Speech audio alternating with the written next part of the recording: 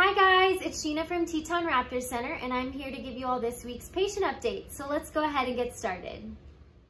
To kick things off this week on a high note are two releases. This first one is Red-tailed Hawk 525 flying back in the wild. This bird was here for almost an entire year and here he is back in the wild in Jackson, Wyoming on a beautiful snowy day. We did release this bird with a transmitter on his body so that we can track his movement over time and ensure that he's thriving and surviving out in the wild with that eye injury that he sustained. First up for our current patients this week is Great Horned Owl 411, and this bird was found in Gillette, Wyoming with significant trauma and soft tissue damage to the left wing and left side of the body. Um, when we got the bird in, we noticed that that whole area was completely bruised and there was some open wounds in that area as well. Um, additionally, this bird has ruptured air sacs. For those of you that don't know, birds have a slightly different respiration system than us. And by slightly different, I mean completely different. And so they actually have air sacs located throughout their body. And sometimes during trauma incidents, those air sacs can rupture. So think of an airbag in your car. When you crash your car, the airbag inflates. And so those air sacs can inflate on a bird after sustaining trauma to the body. So those air sacs have ruptured, and that's something that we can treat here. Um, unfortunately, there's also an infection going on within those air sacs. So not only are we dealing with the ruptured air sacs, but we're currently treating him with a series of antibiotics um, for the infection within those air sacs. And we're hoping that soon that soft tissue damage swelling will go down. In the meantime, this bird is in a wing wrap to keep him comfortable, and he is eating really well in the ICU. Next up, we have Sharp-shinned Hawk 331. This bird flew into a window and was found exhibiting severe neurological symptoms. He also is dealing with a corneal ulcer on his right eye from flying into that window.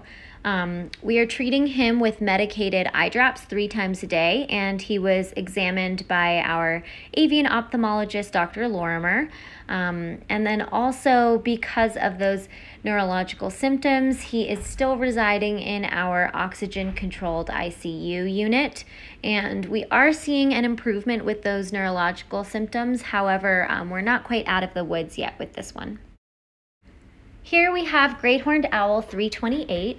This bird was found emaciated in Salmon, Idaho, and he's working on gaining weight.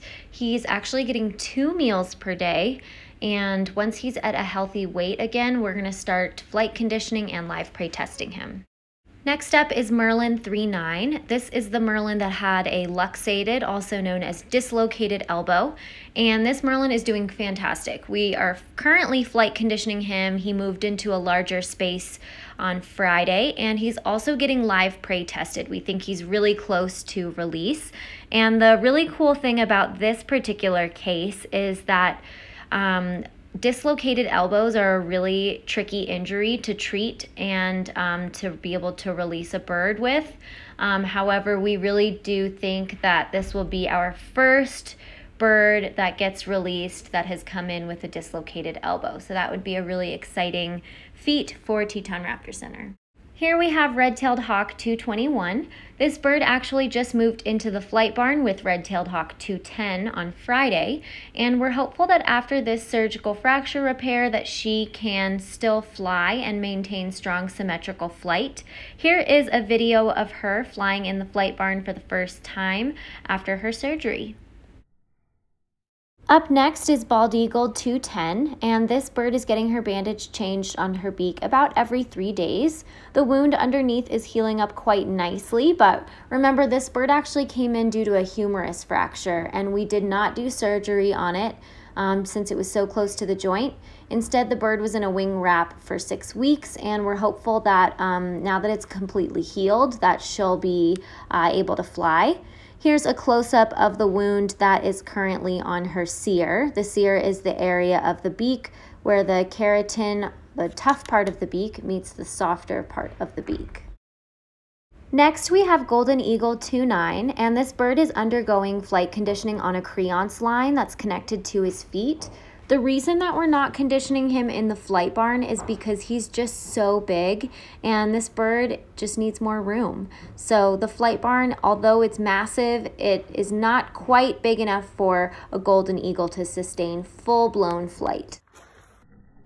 Here we have Great Horned Owl 130, and this bird is looking really good in the flight barn. We have started live prey testing, and we think that this bird has passed two times so far. Hopefully the mouse is not escaping, but here he is flying in the flight barn, really nice, long, well-sustained flight. Here we have Great Horned Owl 1112. This is the bird that we are uh, flying in the flight barn at the moment. He's actually standing on the ground after flight training, and this is a defensive posture that birds sometimes make. And this bird is currently doing that defensive posture. Basically, they try and make themselves look really big. So they take their wings and they push them out to the sides of their body to make themselves look really large and scary to ward off uh, potential predators. And since these birds view us humans as predators, this is commonly a position that we see them take um, when they are vulnerable and on the ground. Last but not least is our golden girl. This is Golden Eagle 4-2, and this adult female is awaiting her transfer approval from the U.S. Fish and Wildlife Service. She is doing well, and we hope to get her out the door soon. Thanks so much for tuning in this week. I hope you enjoyed learning more about our birds, and I look forward to talking with you all next week. To check out our website, you can go to www.tetonraptorcenter.org to help keep wild birds wild by making a donation. Okay, I'll talk to you next week. Bye!